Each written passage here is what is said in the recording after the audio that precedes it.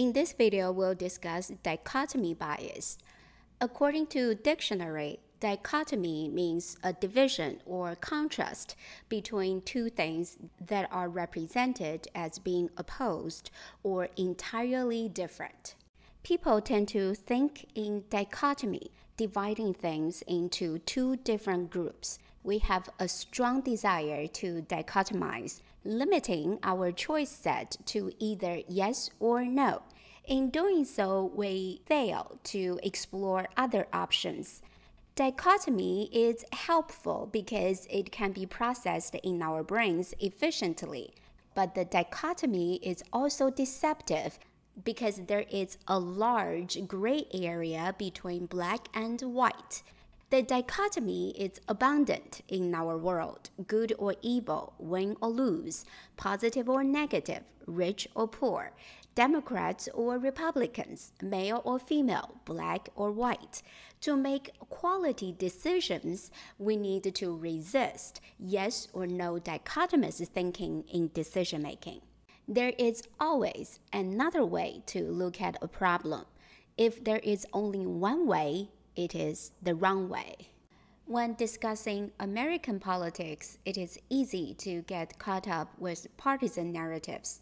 Such narratives are provocative and engaging. However, there are many people who live around us and truly care about our community, regardless of their political affiliations.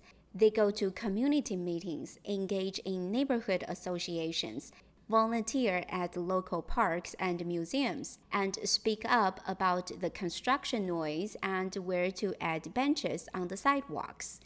Those issues usually don't attract much attention from the media, but they greatly influence the daily life of every neighborhood resident we may believe the relationship between leadership and organizational performance follows a trend of a straight line.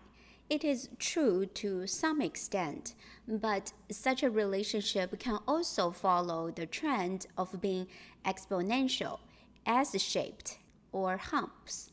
In addition to leadership that impacts an organization in a positive way, there is a possibility that a leader is toxic in an organization. Destructive leadership is not the absence of leadership, but a type of leadership that is toxic. Destructive leaders bully people into submission and, more important, feel gratified in doing so. They hire their cronies who are incompetent.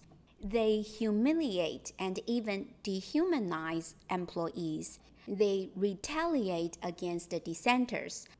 Ironically, the organizational performance enjoys a short term boost because destructive leaders make sure they get things done. The problem is that such an increase in organizational performance is short lived. Over time, employees resent the mistreatment and feel demotivated. The organizational performance falls dramatically, like the humps. This is usually when the destructive leaders leave the organization. Some destructive leaders know that they have created many problems and the liability is too grave for them to stay longer.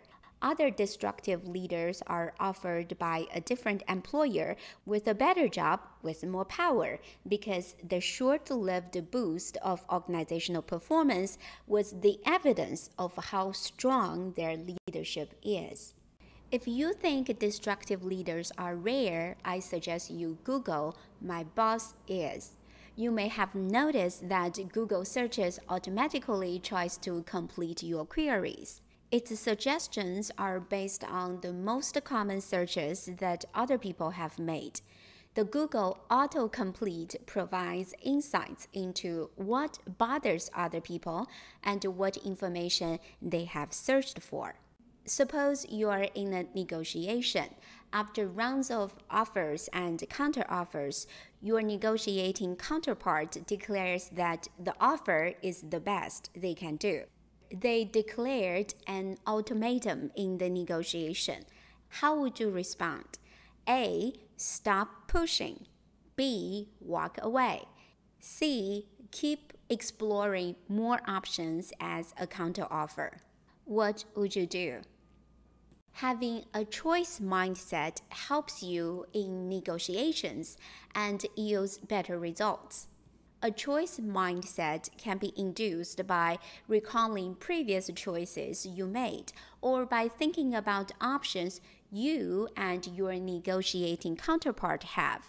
Such a choice mindset keeps you pressing on and exploring more options.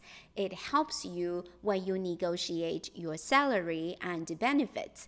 It also helps your organizations when representatives negotiate with contractors and vendors. In this video, we talk about the dichotomy bias.